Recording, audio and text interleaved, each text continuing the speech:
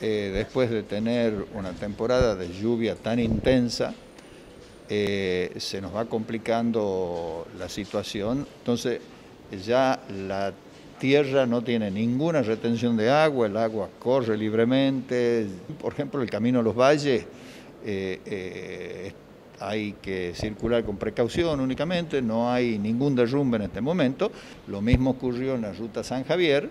En este momento estamos con la ruta Escava. Esta sí está cortada. Después está la que va a Río Nío también, que es la 305, entre este, eh, Villa Padremonte y Río Nío.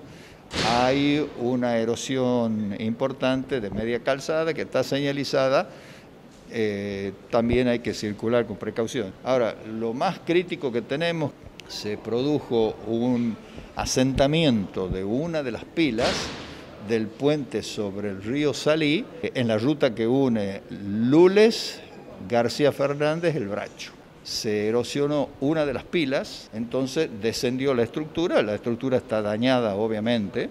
Todos los años hacemos el trabajo preventivo en todos los ríos de Tucumán contratamos una empresa para que haga el encauce de este, de este río en eh, el puente sobre la ruta 321. No se pudo ejecutar la obra porque este, había una zona de aguas arriba del puente que tenía un propietario.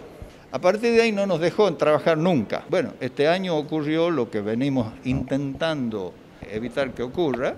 Toda esta situación hicimos todas las demandas pertinentes, este, hay cautelares y demás, y ahora le estamos pidiendo este, a la justicia que nos permita directamente entrar en esa propiedad privada para poder abrir, eh, hacer un encauce, lo que el agua nos deje hacer, de manera que la estructura no, se, no colapse en, tota-, en su totalidad.